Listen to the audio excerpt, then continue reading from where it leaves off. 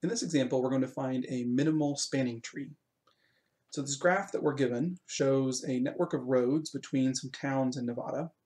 The roads shown on the graph are unpaved, and the weights represent the length of each road.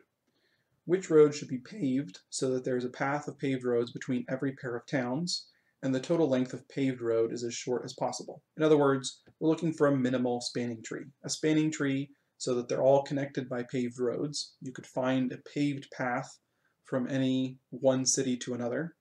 And we want to use the minimal total length, so we're looking for a minimal spanning tree. So to do this, we're going to start by adding the shortest length that we can without creating a loop.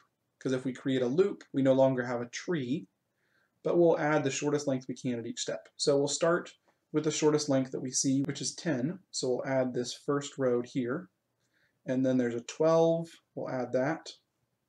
The next shortest, there are two 20s, so we'll add both of them. Again, no loops exist yet. Then we see a 21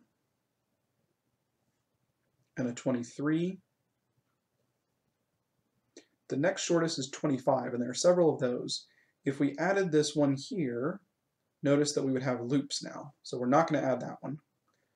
And if we added this one here, we would also have loops. So we won't add that one either, but we will add this one up on the northeast side.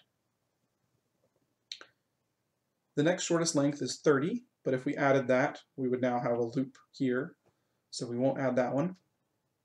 Then the next shortest is a 35, so we'll add that one.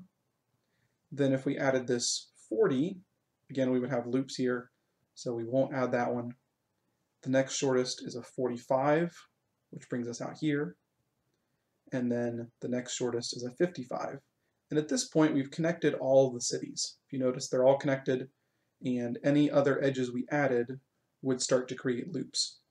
So we have the minimal spanning tree, and we can draw it a little bit more carefully here. That's the minimal spanning tree for the graph that's given. It's possible to have more than one minimal spanning tree, several trees that tie for total distance. In this case, there's only one, but it's possible to have several that tie. But here's an example of one spanning tree for this graph, and it turns out to be the minimal one.